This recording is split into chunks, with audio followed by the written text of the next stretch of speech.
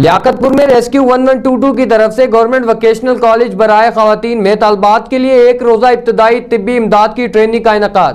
اسی حوالے سے مزید جانیں گے اشرف علی کی رپورٹ میں۔ لیاقت پور میں طالبات کے لیے ایک روزہ بیسک لائف سپورٹ اور فائر سیفٹی ٹریننگ کا انعقاد کیا گیا، جس میں rescue double one double two Liaquatpur کی کمیونٹی ٹیم نے تمام شرکا کو ایک روزہ ٹریننگ فراہم کی۔ Rescue and safety officer Muhammad Imran Sajid نے تمام شرکا کو ایک روزہ کورس میں ویلکم کیا اور اس کورس کی اہمیت کے بارے میں آگاہی فراہم کی اور امید ظاہر کی کہ تمام شرکا اس ٹریننگ سے بھرپور فائدہ حاصل کریں گے اور اس پر عمل بھی کریں گے۔ میڈیکل انسٹرکٹر محمد اکرم نے ابتدائی طبی امداد مرہم پٹی ایف بی اے او کے متعلق آگاہی دی۔ فائر اور اس کے اقسام اور آگ بجھانے کے طریقے کار سے متعلق بھی تفصیلی طور پر بتایا۔ اس کا عملی مظاہرہ بھی کروایا۔ ٹریننگ کا مقصد تمام شرکا کو ایمرجنسی ہینڈلنگ کے تمام متعلق آگاہی دینا تھا۔